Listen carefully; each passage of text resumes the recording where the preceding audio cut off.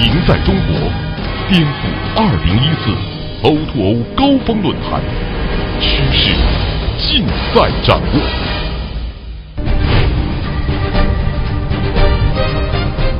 张波，上海一马战略合作部总监，O2O Park 自组织创始人。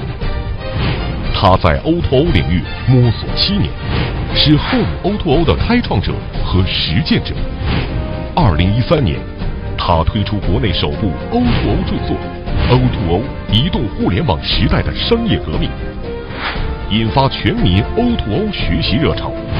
他坚信，在移动互联时代，O2O 势必掀起新一轮商业浪潮。今天过来讲的主题是手机二维码 O2O 的入口和出口。那我首先讲一下，呃，什么是 O2O？因为刚刚那很多的嘉宾都感悟了一下。那实际上我的书上也提到了，在 online 或者 offline 之间，实际上现在的问题在哪里？就是说，两百年以来，我们的工业社会所形成的商业不对称，造成的这种商业模式被打破了。因为手机，特别是智能手机。主要的问题呢，是因为消费者可以随时随地快速的在线上和线下进行互动了，所以说很多企业开始这两年拥抱 O2O 啊，或者实践 O2O。主要的问题是说我在网上开个店，或者我在线下再开个店啊，实际上这个不是 O2O。O2O 的核心是在于线上和线下的互动。为什么这样讲呢？因为你原来站在自己的角度，其实是你要站在消费者的角度。从消费者的角度，如果他在线上线下互动的话，其实对他来讲，他的消费体验是最符合自然的。我们现在不讲线上的流量，因为流量被碎掉了。那么我们也不讲线下的那些啊很害怕的那些被颠覆者。实际上，我们来反思一下，线上的讲究的什么？就是快；线下讲究的什么是真？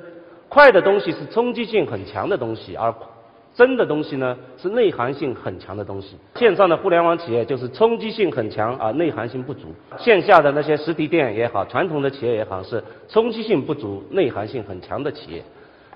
所以说呢，我认为 O2O 是冲击性和内涵性高度平衡的一个这样一个产业。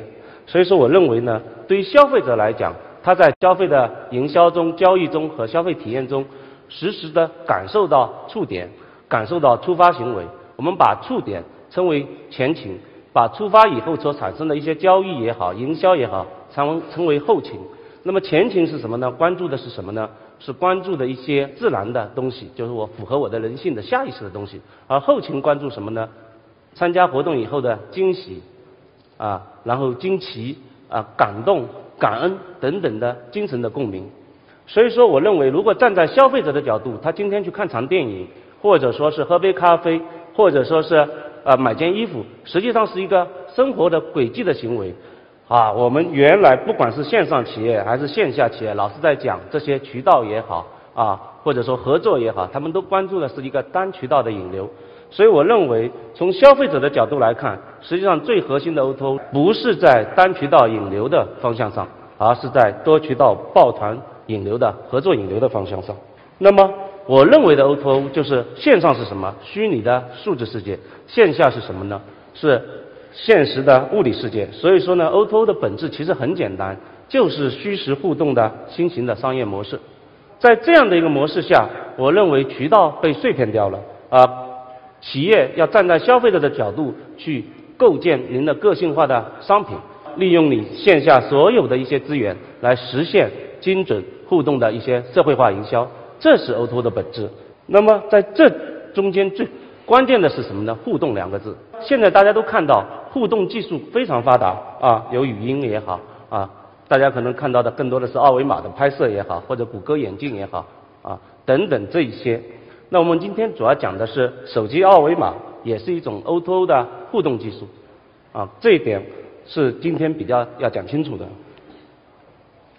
那实际上很多人跟我讲说。呃，手机二维码有多少应用啊？有些专家告诉我六十种，有些专家告诉我二十种。实际上，在我眼里就两种，啊，一个叫手机二维码的标签业务，什么意思呢？你的二维码在外面，你用手机去拍，解决一个什么问题呢？就是线下的流量往线上引。因为现在大家都知道，线上的流量很贵，理论上来讲，线下的流量是无穷的。所以说呢，现在大家用标签这种方式，就是把线下的流量往线上引。那么这种方式呢，呃，市场上把它称为手机二维码的主读类业务，因为你的二维码在外面，手机去主动识别的。那么还有一种二维码，我们称之为二维码的被读类业务，就是我们在零五年创业的时候，把二维码发到了手机屏幕上，被其他设备识别。实际上当时根本不是为了去引流的，是因为线上的那些订单跑到线下去，要需要纸质的东西，或者需要送货，或者是怎么样，那怎么办呢？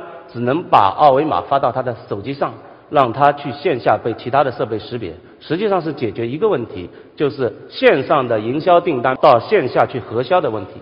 那么当时我们创业以后用了这种二维码进入屏手机屏幕以后呢，市场上把它认为叫手机二维码的被读业务。那实际上问题在哪里呢？实际上主读也好，被读也好，现在的界限被模糊化了。我记得王老师上次在这个微博上发了一个说，他终于在。自己的手机上用这个二维码啊，照片自己能识别了，用云识别能识别了。那这种实际上是标签，在自己的云识别方式来识别了。那实际上现在的凭证也是存在这个问题，就是凭证他手机二维码的那个凭证放在自己的屏幕上，被其他的手机识别了。所以说主读和被读这样的一个业务形态，已经是不能来说明这个二维码了。所以我们还是把它坚持的认为说有两个应用，一个叫手机二维码的。标签一个叫手机二维码的凭证，那么标签是 O2O 的入口，从线下跑到线上去的，而凭证是什么呢？是从线上跑到线下去的出口，就是核销你的订单凭证的。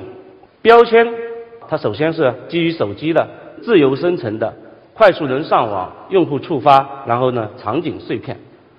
为什么二维码被很多企业用起来呢？是因为你用前面其他的互动技术。它都是先要跑到巨头的那个大数据下去判断这是一个什么产商品，什么样的一个业务场景，然后再跑到您所给的这一个营销内容上或者是交易内容上。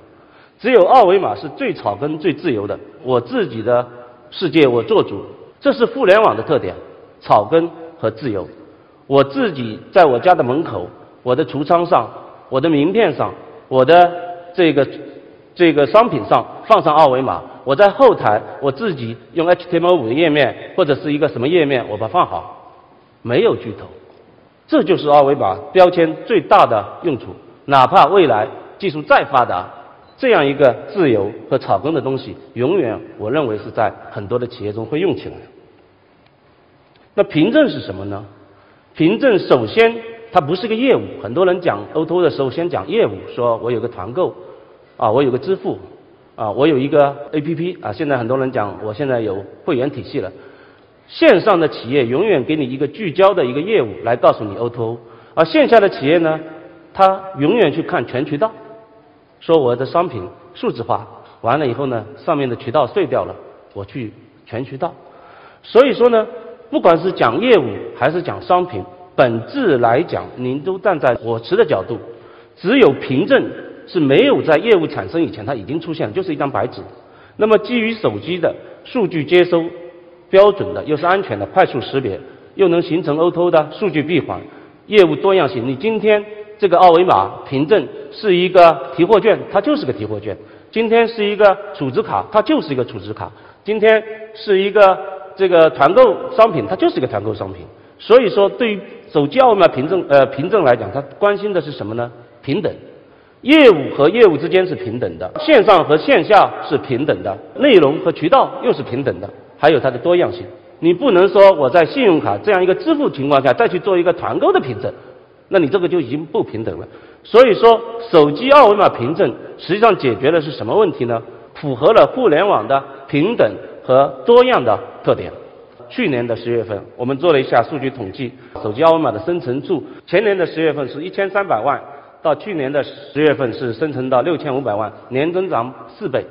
但扫描就是二维码的识别，或者不管去去线下验证也好，或者您看到一个二维码去识别也好，是从六百一十万次一直冲到了一亿多次，就年扫描量增长了十七倍。增长在哪里？不是在凭证上，而是在标签上，恰恰验证了我刚才那个说法。不要去关心那些巨头，互联网是一个去中心化的时代，你自己的渠道你做主，他们就做起来了。那么手机二维码对于 O2O 的渠道关心的是营销，营销往销售方向去引流，引流完了以后要做成呃这个核销，就是我们去做内容体验。那么二维码在标签入口可以从线下跑到线上去引流，然后呢出口呢是你在核销的过程中可以在线下呢去核销你的凭证。那么我们举个例子，这个是上面是什么公司？麦当劳。麦当劳它把它的商品数字化，它的汉堡，它的呃卖咖啡，它的鸡腿。啊，然后数字化以后呢，放到了网上，多渠道去卖。那么哪些渠道？大家可以看一下，在天猫有渠道，在中移动的积分商城，在各个银行的积分或者电商，特别是前段时间那个招行的那个信用卡，九个积分可以换个麦当劳。那么这种卖法，他们称之为 other payments。other payments 跟这个呃区别对应的区别的呢，叫现场现场门店的呃交易。那么 other payments 现在占它的百分之十的销量。我们都知道，麦当劳中国是一千八百家店。将近一百一十亿的销售额，这样的一个 other payments 占了将近十亿的规模。所以说，这样的一个企业，它完全可以通过多渠道、全渠道的方式把他的商品卖出去。不管卖出什么样的商品，他都会收到一个凭证，而这个凭证在我们的体系上验证完以后，提供给消费者。那么这种凭证，我们称之为 O2O 的闭环。很多人讲 O2O 的呃最终目标是闭环。O2O 的闭环，实际上那个是不对的。O2O 闭环只是 O2O 的起步阶段，真正要做一个 O2O，实际上我认为你是要化整为零的一个自组织方式，就是让你的员工、你的的顾客快速的自己创建营销活动，选择营销品，然后呢发布到啊不同的营销的大厅、交易大厅里面去，比如说 B to B 的交易大厅。或者 B to C 的交易大厅，也可以发布到不同的推广的渠道上，比如说微信也好，二维码的渠道也好，或者是微博也好，或者您的 QQ 空间，然后呢积累粉丝，最后在营销活动、营销品和营销的渠道上进行匹配的数据分析。所以说，这样的一种自组织方式下的化整为零的，让一线听到炮火的人来指挥 O2O 的一场战争的方式，我把它定义为叫。二维码 O2O 全渠道营销。当 O2O 的渠道被碎片掉的时候，我们看看这些，这些渠道是谁的？是你员工的，是你在座的每一个人的员工的，啊，也是你企业自己的。比如说您的桌子、您的呃橱窗海报、您的名片，您都可以把它作为一个营销渠道，去实现对你营销活动的一次这样的一次推广。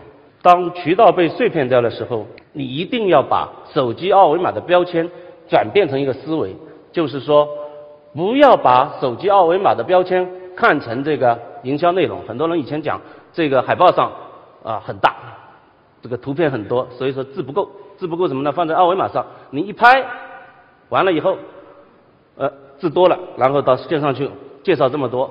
实际上，你一定要去改变这个思维，不要把它看成营销内容，一定要把它看成营销渠道。您的名片今天发出去，您的二维码会不会变呢？您不会变。名片上的这个二维码，明天绑的那个营销活动发生变化了，后天绑的这个营销活动发生变化了，这样的二维码是标签才是您的营销渠道。那么，如果你这样去思考问题，您的渠道您做主。你不要以为 O2O 线上那些流量他们是救世主，他们是你的吸血鬼。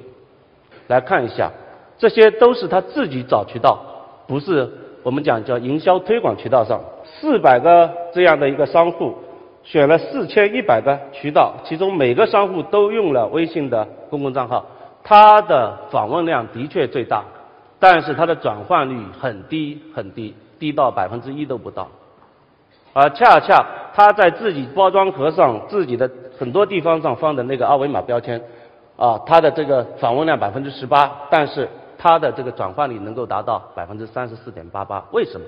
因为 O2O 它是一个用户体验感很强的一些呃业务活动、业务的一种方式。那么离场景越近，转换率越高。